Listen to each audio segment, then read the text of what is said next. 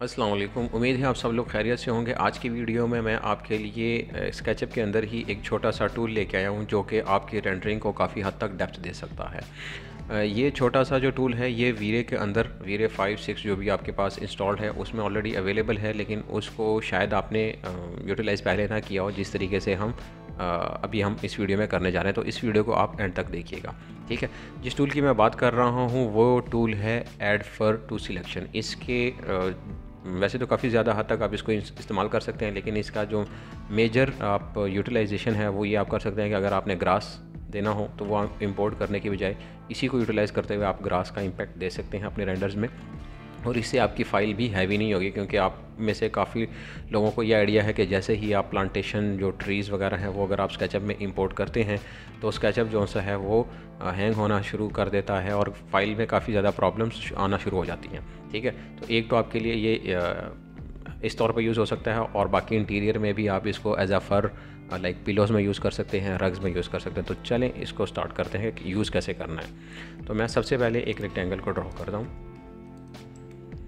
और इसको reverse face selection कर देता हूँ, ठीक है? और इसके बाद इसको ग्रुप बना देता हूँ। और जैसे ही मैंने इसको ग्रुप बनाया, अभी आप देख सकते हैं कि ये एड फर टू सिलेक्शन ये एक्टिव हो गई है।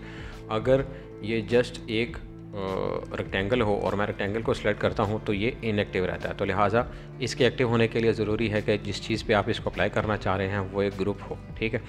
तो लिहाजा मैं इस इस पर क्लिक करता हूँ और जैसे इस पर मैंने क्लिक किया, ये मेरे पास जो सी है, ये एप्लीकेबल हो गया होगा। अब इसका इम्पेक्ट मेरे पास, मैं ये देखने के लिए अपने इंटरेक्टिव रेंडर्स जो से वो ऑन करूँगा, ठीक है? ये आप देख सकते हैं कि ये आपको फ़र नज़र आ रही होगी इसमें, ठीक है? इसको हम थोड़ा फ़िलहाल मिनिमाइज़ करते हैं।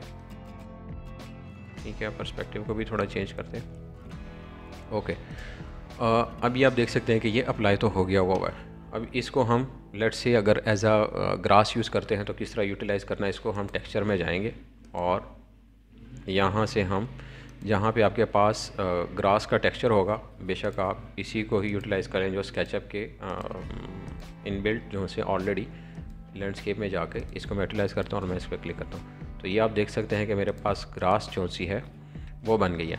लेकिन ये ग्रास काफ़ी जो सी है ना, ये क्लीन नहीं है। तो इसको क्लीन करने के लिए हमें थोड़ी सी इसको टॉगल करना पड़ेगा, इसकी सेटिंग को थोड़ा सा चेंज करना पड़ेगा। वो हम करने के लिए हम ये वीरे एसेट एडिटर में जाएँगे और यहाँ से ये जोमेट्री पे क्लिक करेंगे। जैसे ही जोमेट्री पे क्लिक करेंगे ये नीचे हमारे पास ये फ़र जो सा हुआ है, ये आ गया हुआ है। इसको करते हैं हम सिलेक्ट और आगे हमारे पास ये विंडो में एक क्यूब बना हुआ है, जिसके ऊपर ऑलरेडी फ़र बने हुए नज़र आपको आ रहे हैं, ठीक है? यहीं से अब हम इसकी थोड़ी सी सेटिंग्स चेंज करते हैं। लेट से हम ये काउंट पर एरिया अगर हम चेंज करते हैं, ये हम बढ़ा देते हैं लेट से तो ये आप देख सकते हैं, काफ़ी ये क्लीन हो गया और ये काफ़ी ज़्यादा है।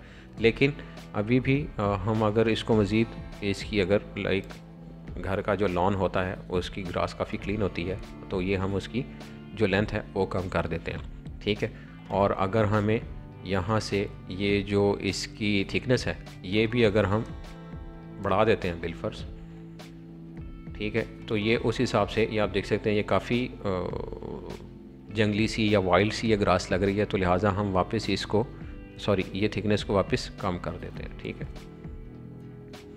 तो इस तरीके से भी आप इसको कर सकते हैं। और ये बाकी हमारे पास ये ग्रेविटी है, ठीक है?